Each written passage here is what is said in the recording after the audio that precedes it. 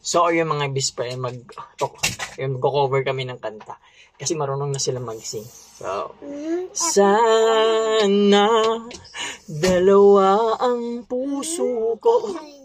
Ang dalawang puso mo. Ano katakata mo dyan? Mag-cover lamang kami ng kanta. Magko-cover ka na lang, dalawa pa puso ang gusto mo. Daw-daw mo pwede mo cover yan. Kailangan dalawang puso. Bakit kailangan dalawang puso ang gusto mo? Kanta lang. Ayan. Wala ka na yung mga kino-cover-cover mo. Ganyan. Ba't gusto mo dalawa puso mo? Cover lang nga yun. Kanta-kanta lang gani. Siguro iba ka na, no? Oh. Sige na, palitan lang namin yung kanta. Bukas na lang. Mag- bukas na lang tayo mag-cover yung mga best friend. Basag naman ito. Sige na, lumabas ka na doon.